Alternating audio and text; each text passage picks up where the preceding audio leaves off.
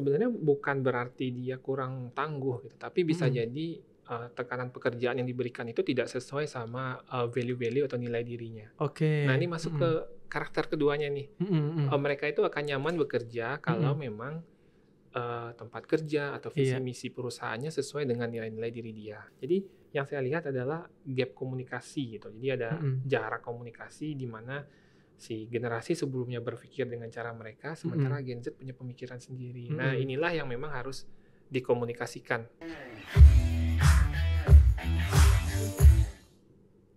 Oke, Bismillahirrahmanirrahim. Assalamualaikum warahmatullahi wabarakatuh. Waalaikumsalam warahmatullahi wabarakatuh. Apa kabar teman-teman semuanya? Berjumpa lagi bersama kami di RC Podcast. Semoga tetap senantiasa semangat melihat video-video terbaru dari kami. Eh, menarik sekali rasanya kita sekarang ngobrol tentang sesuatu yang memang berkaitan banget dengan anak muda. Mungkin teman-teman semua kalau lihat Pak Arif memang sosok yang mewakili anak muda ya. Oh gitu Oke. ya? Mungkin kenalan dulu ya Pak. Ah, baik, baik. Oke, boleh kenalan dulu Pak? Oke, ah, nama saya Arif Triman. Mm-mm. ah, bekerja di RC, Iya. ah, mengajar di Fakultas Psikologi Mm-mm. Universitas RC. Iya. Ah, sekarang sebagai wakil dekan satu Wakil Dekan di Satu Fakultas Psikologi. RC. Oke, baik. Baik teman-teman semuanya. Menarik banget nih teman-teman. Sekarang kita sama-sama mengetahui ya bahwa dunia pekerjaan sekarang mulai diisi oleh fresh graduate, Pak ya. Ya. Seperti yang sudah kita ketahui bahwa sekarang itu di dunia pekerjaan terutama HRD HRD banyak yang membahas tentang perilaku-perilaku generasi Z dan penelitian ini banyak dilakukan mulai dari dalam negeri sampai luar negeri. Sebenarnya apa sih yang tersimpan dan yang menarik dari generasi Z ini, Pak? Mungkin boleh sedikit cerita, Pak. Oke, Mm-mm. ah, sebenarnya kalau kita melihat ah, Gen Z atau Gen Mm-mm. Z itu, Iya. ah, kita balik dulu ke ah, tahun kelahiran mungkin ya. Betul. Nah, jadi Mm-mm. kalau teman-teman semua cari tahu nih, ah, sebenarnya saya ini masuk generasi apa ya? Iya. Nah, ini kalau Gen Z itu ah, kurang lebih ya, dia lahir Mm-mm. di mungkin ada yang referensi itu 95, 95. 96, 1995, Mm-mm. 1996 sampai 2010. Oh, oke. Nah, Mm-mm. itu Gen Z. Mm-mm. Ah, kalau kita berbicara tentang ah, HR atau Mm-mm. SDM, Mm-mm. ah, memang yang kalau teman-teman semua lihat media sosial gitu ya, Mm-mm. nah banyak lah yang bilang, oh Gen Z ini ah, kurang tough lah. Oh Oke. dia ah, gampang resign. Mm-mm. Oh mereka ah, ada aja kelakuannya ya. Iya, Nah, benar. gitu. Mm. Tapi memang Mm. sebenarnya itu ada reasoningnya sih, ada alasannya Oke. gitu kan. Mm-mm. Jadi eh, kalau saya ngobrol sama teman-teman yang eh, profesional yang kerja di HR gitu, Iya. eh, bahkan mereka sekarang udah mulai beradaptasi sama karak- eh, karakteristik dari Gen Z ini. Jadi jadi nggak nggak apa namanya negative thinking dulu pak ya dengan perilaku Iya mereka. betul, karena sebenarnya eh, mungkin nanti kita kita akan bahas ya. Iya. Nah, Mm-mm. sebenarnya ada Mm. ada gap gitu dari Iya. antar generasi itu ada gap. Mm-mm. Nah, gimana mempertemukan gap ini Mm-mm. biar eh, saling memahami lah Betul. gitu. Karena di dunia ker- di dunia kerja ya pak ya, Hmm. uh, terutama mereka yang memutuskan untuk bekerja di sebuah perusahaan di situ ada baby boomers atau Hmm. generasi-generasi Hmm. bapak-bapak kita kemudian ada generasi milenial dan ada generasi mereka dan nanti akan diisi lagi oleh generasi baru Betul. Generasi alpha namanya. Mm-mm.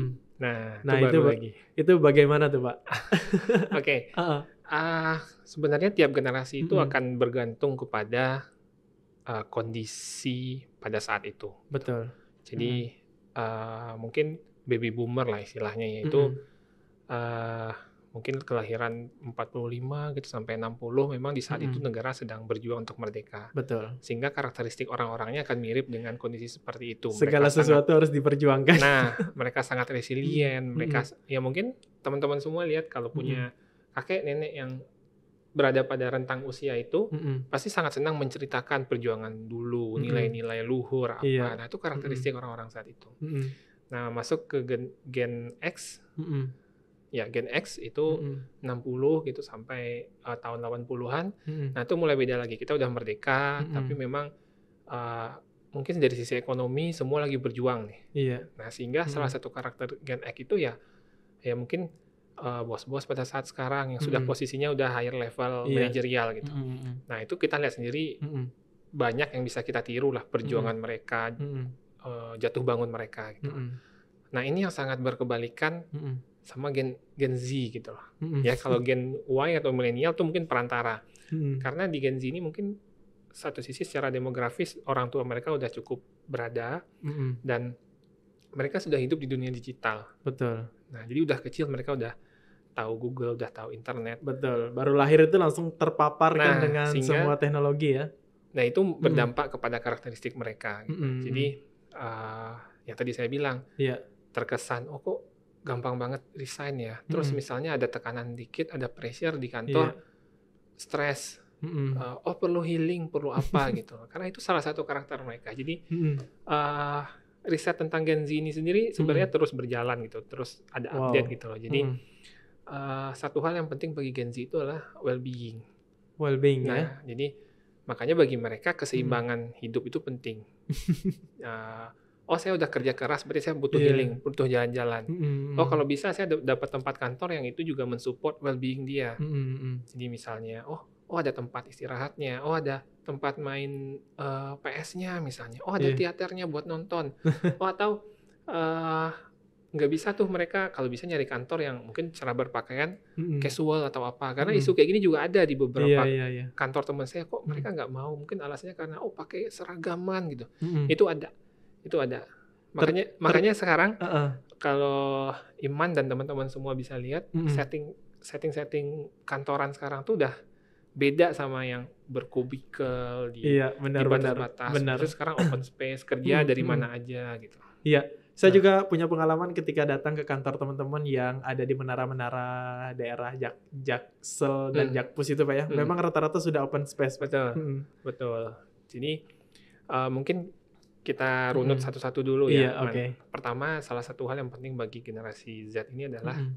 keseimbangan hidup tadi Oke. Jadi uh, bagi mereka uh, refreshing Mm-mm. sama kerja tuh harus seimbang, ya. Beda mungkin Hmm. kalau uh, yang udah mungkin Gen X atau yang baby boomer Mm-mm. ya mau kerja sampai malam Mm-mm. atau apa ya nggak apa-apa, yang penting besok Iya. kerja lagi. Nah bagi Mm-mm. mereka nggak, mungkin udah capek kerja, mungkin Iya. nongkrong dulu sama teman-teman, ngopi Mm-mm. dulu Mm-mm. atau nonton ke mana dulu. Nah itu penting Mm-mm. bagi mereka. Oke, oke. Nah itu itu hal yang penting. Sehingga apa? Mm-mm. salah satu isunya adalah mental illness gitu loh. Jadi eh ya itu tadi gampang stres, terus eh, depresi, ada pressure Mm-mm. sedikit depresi gitu Mm-mm. karena eh, apa ya? Eh sorry rentan terhadap depresi Mm-mm. karena eh, ya secara mental mereka tidak sekuat Iya. eh, generasi-generasi sebelumnya gitu. Oke. Makanya sekarang menjadi isu nih, apalagi di media sosial Mm-mm.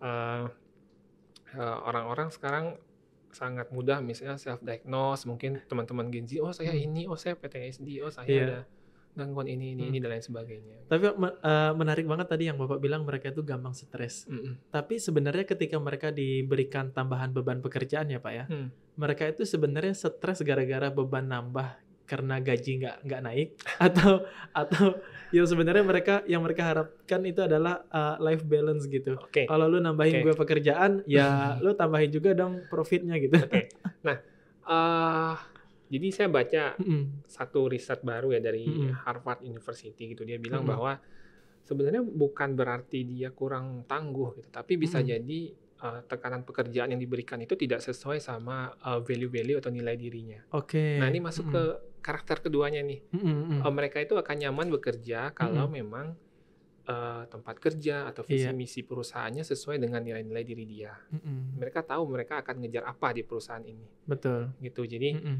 Eh, misalnya eh, tem- tempat kerja A itu itu memang itu bisa menjadi media atau wadah buat mereka buat eh, mewujudkan cita-citanya sebagai apa atau apa gitu. Bisa berkembang lah dari situ Pak ya. Betul, Mm-mm. gitu. Jadinya Mm-mm. sehingga apa ya kalau orang-orang yang di generasi sebelumnya melihat nih kok kutu loncat ya kok dia pindah atau apa Mm-mm. bahkan ada teman saya di sebuah perusahaan besar lah saya tahu saya Iya. nggak nyebut nama tapi Mm-mm. memang mereka pun cukup heran ini Mm-mm. udah di tempat kerja kita loh Mm-mm. nah kurang apa lagi kita Mm-mm. Eh, kita seragamnya kan biar sesuai dengan visi misi kita atau Mm-mm. apa terus gaji kayaknya besar tapi Iya. ternyata dari hasil riset tuh memang mungkin nggak sesuai sama value yang mereka anut pada saat itu jadi, Mm-mm. jadi eh, mereka pintar, mereka kok berkompeten tapi Iya. mungkin uh, ya udah nggak sesuai aja karena memang Mm-mm. mereka senang sama sesuatu yang lebih fleksibel, dinamis gitu. Mm-mm. Makanya akhirnya mereka banyak yang kerja ke startup atau ke mana yang memang Mm. itu lebih uh, menjadi tempat wadah buat mereka. Terkesannya kayak nggak takut kehilangan pekerjaan Iya, ya, Pak. bahkan di riset itu dia bilang bahwa Mm-mm. uh, even uh, this Gen Z uh, brave uh, untuk layoff atau atau untuk Mm-mm. uh, keluar dari pekerjaan Iya. Karena sebelum dia mempersiapkan tempat kerja baru. Kalau memang Wow. udah, oh saya udah nggak cocok ya udah Mm-mm. gitu Keluar keluar aja gitu. keluar ya. aja nggak masalah. Mungkin kalau generasi Mm. sebelumnya mikirin uh, kebiasaannya ya. Iya ya. iya benar benar. Jadi- Ini nasihat nasihat Dia- apa petua orang tua ya. Dia resign tapi sebenarnya ya dua tiga bulan sebelumnya dia udah nyari tempat baru. gitu. Benar benar. Itu umum yang terjadi. Umum yang terjadi, Oh, ah. nah. Jadi udah ada pijakan sebelum melompat Betul, gitu. betul. Sementara di Gen Z Mm. ini dia dia nggak ada masalah. Mm-mm, Tuh. mm-mm. Terus uh, masuk ke karakteristik yang ketiga nih, Mm-mm.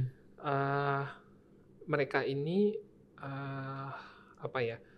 Jadi uh, lanjut ke riset yang orang Harvard ini dia bilang Iya. bahwa mereka mencoba pendekatan kualitatif nih, man. Jadi dia Mm-mm. interview dia FGD sama generasi Z ini. Iya. uh, mereka tuh senang dengan pendekatan individual. Wow. Jadi mereka bandingin kalau kita komunikasi sama Gen Z ini maunya sama WA, email, phone atau apa enggak. Mereka sangat sesuatu suka sesuatu yang personal. Jadi kalau mau ngomong sama mereka ya pendekatannya individual. Individual ini eh, bisa langsung atau bisa menggunakan media sosial, Pak? Aja dia tidak menggunakan media sosial ya, tapi lebih Hmm. ke apa ya? Lebih eh, humanis, lebih Mm-mm. kalau memang mau menegur mereka jangan Mm-mm. di depan umum, dipanggil Oke. ke ruangan. Mm-mm. Ya lebih persuasif aja kita ngomongnya. Mm-mm. Itu mereka lebih senang kayak gitu. Mm-mm. Nah, kalau di media sosial katanya malah mereka sebenarnya enggan gitu karena itu kan terekspos sama Iya. eh, dunia luar gitu loh. Mm-mm. Jadi mereka memang lebih senang ya personal approach lah ke mereka. Jadi bahaya ya untuk para manajer yang yang apa namanya yang generasi sebelumnya yang kalau nggak mau memahami Gen Z marah-marahin ke staffnya Iya. di depan umum siap-siap pada resign tuh generasi Z. Nah, sehingga terkesan apa mereka nggak Mm-mm. nggak kuat secara mental padahal Mm-mm. ya mungkin mereka tidak nyaman seperti itu. Iya iya iya. Gitu. Jadi Oke. uh, dan uh, mereka tuh sangat karena tadi saya bilang mereka sangat fleksibel sehingga Mm-mm. mereka kurang cocok tuh dengan cara-cara atau nilai-nilai corporate yang mungkin udah mendarah daging di perusahaan tersebut. Jadi contoh misalnya gini, Mas. Kemarin tuh memang kita ada kuliah kunjungan ke sebuah perusahaan yang Oke. udah cukup oke lah ya Mm-mm. di Indonesia. Mm-mm. Uh, jadi uh, saya ngobrol sama manajer HC-nya, human capital-nya. Mm-mm. Uh, ada nama program namanya MT, manajemen trainee. Itu Oh, biasanya oke, emang oke, mereka oke. nyari buat fresh grade gitu. loh. Mm-mm. Nah, dulu saya pernah nyoba ikut dan Mm-mm. memang uh, pakemnya adalah kita ikut MT itu fresh grade nanti kalau diterima kita Mm. di ada disekolahin lah istilahnya. Iya. Ikut pendidikan mereka setahun dua tahun nanti ada ikatan dinas 2 n plus 1 Hmm. Nah, terus ijazahnya ditahan teman. Ijazah pendidikan. Iya. Nah, Mm-mm. ternyata di generasi sekarang nggak bisa kayak gitu. Kalau mereka lihat persyaratan kayak gitu di awal mereka nggak mau daftar. Nah, terus saya nanya, Heeh. "Eh, jadi apa yang eh, Mbak lakukan gitu? Mm-mm. Kita ubah polanya, kita Mm-mm. lebih mau mendekati mereka, lebih Iya. eh, apa ya, lebih persuasif lagi. Jadi Mm-mm. yang kita tawarkan tuh bukan ikatan dinas atau sesuatu yang mengekang, tapi Mm-mm. eh, apa kelebihan perusahaan kita, Mm-mm. apa hal-hal yang mungkin bisa mereka raih sesuai dengan eh, apa ya cita-cita mereka gitu. Iya. Jadi dikasih tantangan, bahkan ditawarin, oh kira-kira kamu pengennya nanti pekerjaan seperti apa, tantangan apa yang mau kamu uh, inginkan. Mm-mm. Nah, jadi lebih kayak gitu. Jadi di Mm-mm. saat mereka menilai, oh ini perusahaan kayaknya bisa menjadi uh, apa ya uh, gerbong mereka untuk sampai Mm-mm. di finishnya.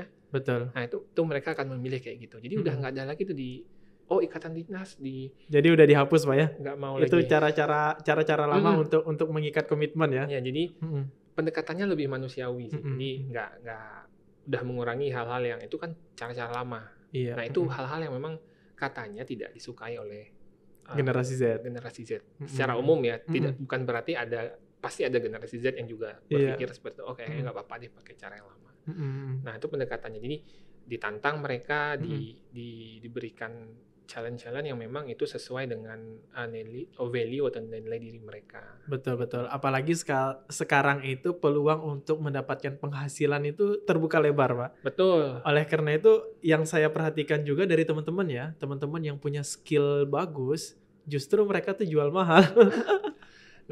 Jadi uh, uh, mungkin gini, Hmm. uh, saya juga kadang karena sekarang di wakil dekan satu ya, ya, Mm-mm, kadang mm-mm.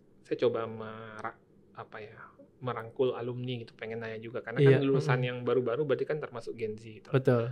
Ada yang sampai sekarang juga belum dapat tempat kerja atau apa, tapi dia Mm-mm. berbisnis Mm-mm. gitu. Cuman kan kadang di saat mereka ditanya sama orang tua, kok Mm. belum kerja, ngapain aja di kamar dan lain sebagainya. Mm. Dia menghasilkan di kamar, Iya. entah dia jualan online, entah dia Mm-mm. punya bisnis apa dan lain sebagainya Mm-mm, gitu. Nah, mm-mm. jadi yang saya lihat adalah gap komunikasi gitu. Jadi ada Mm-mm. jarak komunikasi di mana si generasi sebelumnya berpikir dengan cara mereka, sementara Gen Z punya pemikiran sendiri. Nah, Mm-mm. inilah yang memang harus dikomunikasikan Betul. di Mm-mm. dalam setting kantor ya, sehingga Mm-mm. masing-masing harus menyesuaikan yang Mm-mm. yang generasi sebelumnya ya berarti atasannya SDM SDM-nya Nah. pun begitu ya, Pak ya. ya paling enggak kan Mm-mm. supervisornya kah, manajernya harus tahu cara berpikir mereka dan Mm-mm. si Gen Z ini atau uh, staff-staff yang yang termasuk ke kriteria Gen Z ini harus Mm-mm. paham juga penyesuaian diri yang dilakukan oleh uh, orang-orang di sekelilingnya di kantor ya, Betul. terutama yang lebih tua seperti Mm-mm. itu. Kalau mereka saling menjalin komunikasi tadi, Ya, ah, itu justru justru sebenarnya me- menghindari kesalahpahaman. betul gitu. Jadi kalau Mm-mm. kemarin saya share sama temen itu akhirnya dia Mm-mm. bilang uh, misalnya kalau udah kelihatan nih hawa-hawa dia mau uh, nggak nyaman, nggak Mm-mm. betah gitu. Mm-mm. Biasanya atasannya akan nanya kira-kira kamu punya hal apa lagi yang pengen diraih Oke. gitu. Atau kamu Mm-mm. butuh tantangan baru mungkin biar kamu nggak bosan atau apa. Mm-mm. Itu biasa ditanyakan seperti itu. Oke. Jadi Mm-mm. gaji atau benefit itu iya, tapi itu nomor sekian bagi Bagi mereka Gen Z itu Mm-mm. gitu. kenyamanan nomor utama. Ya kenyamanan, Mm-mm. terus ini pekerjaan nih bisa ngasih apa sama saya. Mm-mm. kadang hal-hal di luar uang misalnya, Mm-mm. mereka bisa eksis di mana, Mm-mm. mereka bisa aktualisasi dengan apa gitu ya. Misalnya Mm-mm. pekerjaan ini bantu dia buat lebih eksis di media sosial Mm-mm. atau memang uh, mereka dapat dapat tempat sendiri Iya. nih, gitu. Selain komunikasi tadi, Pak, ada Hmm. nggak saran saran ya untuk apa namanya untuk eh, para generasi-generasi Z, millennials Hmm. yang sekarang mungkin jadi supervisor mereka atau HR mereka Mm-mm. di sebuah perusahaan untuk bagaimana menghadapi Gen Z tadi, Pak, selain komunikasi.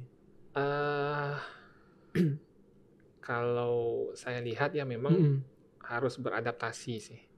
Harus mau membuka diri, Pak ya, Ah, untuk mem- mempelajari Nah, perilaku-perilaku baru baru ya. Setiap organisasi Mm-mm. atau company itu kan pasti ada pengembangan dan development gitu. Jadi Mm-mm.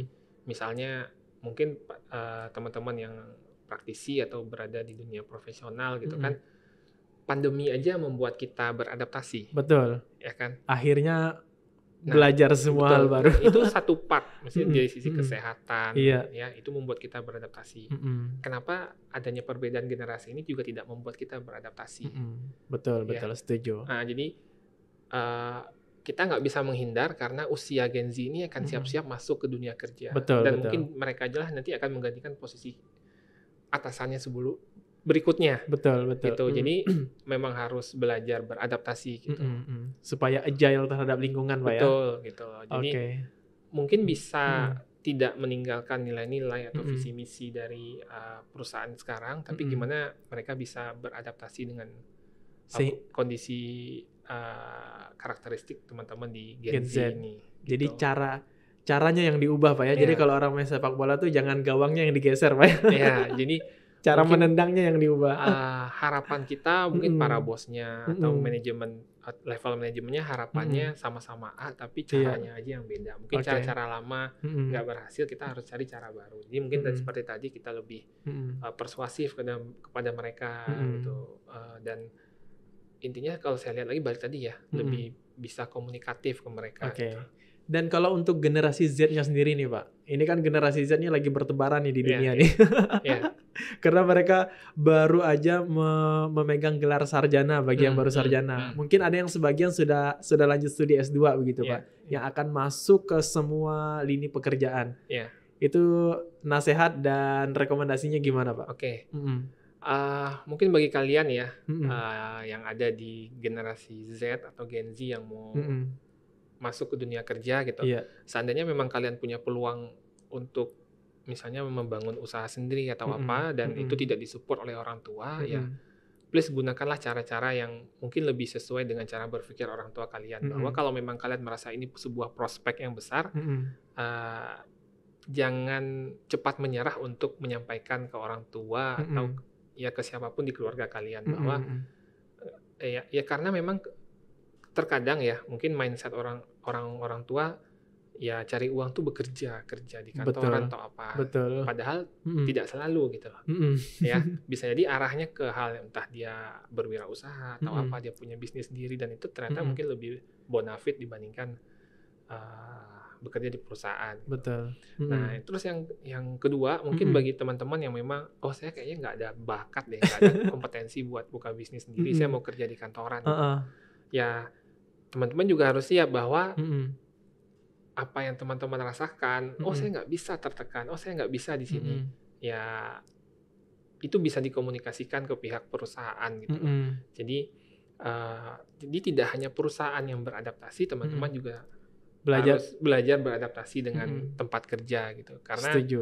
eh, bagaimanapun Mm-mm. sebuah perusahaan, sebuah tempat kerja itu Mm-mm. udah mungkin udah yang udah puluhan tahun, Betul. ratusan tahun Mm-mm. dengan cara-cara dengan nilai yang mereka pegang gitu. Betul.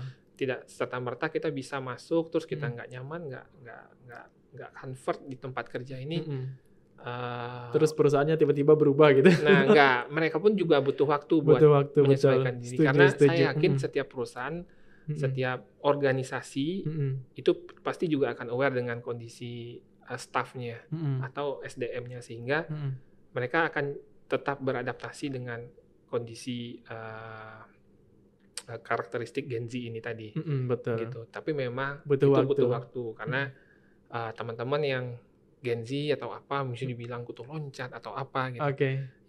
Yang namanya karir kalian tetap harus bersabar gitu. Mm-mm. Ya, uh, karir yang cepat ya Mm-mm. mungkin ada sebagian orang mendapatkan privilege oh Mm-mm. umur segini udah udah cepat nih karirnya udah sampai apa apa dan lain sebagainya tapi Mm-mm. percayalah uh, kalian juga harus sabar Mm-mm. meniti satu satu satu Mm-mm. karena biasa karir akan tetap naik satu satu satu gitu Betul, betul. Nah, setuju, setuju. kadang memang yang butuh waktu aja Oke. gitu Oke, baik teman-teman semuanya, terutama teman-teman generasi Z ya. Tetap jangan apa namanya, jangan negative thinking terhadap fenomena-fenomena yang terjadi atau pembahasan-pembahasan generasi sebelum kita gitu yang yang menegatif thinkingan terhadap generasi Z ya. ya Karena sebenarnya generasi Z juga menyimpan banyak potensi betul dan dalam dunia kerja kita bisa mengkomunikasikan dua arah terhadap Betul. generasi sebelumnya betul sehingga jangan terlalu banyak apa namanya berpikir bahwa dunia itu tidak sepemahaman dengan kita percayalah bahwa semuanya itu butuh proses untuk bisa menyesuaikan dengan kita. Iya, betul. Oke baik teman-teman semuanya. Menarik banget kalau kita terus membahas tentang generasi Z ini. Saya rasa sampai nanti malam pun nggak nggak habis-habis. ya pak ya? Oke baik. Mungkin lebih asik kalau nanti ketika ada fenomena-fenomena terbaru kita bahas lagi Ya, pak baik. Thank you dan terima kasih Pak Arif telah bersedia bersama kami membersamai generasi-generasi Z untuk membuka pemikiran mereka tentang dunia kerja. Ya. sehingga untuk mereka yang memutuskan bekerja mereka bisa paham bahwa di dunia kerja itu nggak hanya mereka loh isinya. Ya. Banyak generasi-generasi lain. Ya. Baik Pak Arif mungkin dari saya sudah cukup dari Pak Arif adakah pesan-pesan yang ingin disampaikan lagi? ah mungkin sedikit ya Oke boleh. jadi Heeh. uh, pandemi aja membuat kita beradaptasi Mm-mm. Jadi bagi teman-teman di perusahaan ataupun sebaliknya Mm-mm. uh, teman-teman yang di uh, berad- mau nyari kerja Mm-mm. atau sedang bekerja di yang termasuk pada bagian uh, generasi Z gitu ya, Mm-mm. uh, ya kedua belah pihak memang harus tetap beradaptasi. Gitu. Oke. Pandemi aja bisa membuat kita beradaptasi. Kenapa? Perbedaan individu, perbedaan Mm-mm. nilai tidak bisa juga membuat kita beradaptasi. Ya, Oke. kuncinya berkomunikasi. Mm-mm. Itu aja sih. Oke, sip teman-teman semuanya. Sampai jumpa lagi bersama kami di RC Podcast dengan tema-tema terbaru yang tentunya asik untuk teman-teman semuanya menambah edukasi dan menambah literasi. Terima kasih. Terima kasih. Assalamualaikum warahmatullahi wabarakatuh. Waalaikumsalam warahmatullahi wabarakatuh.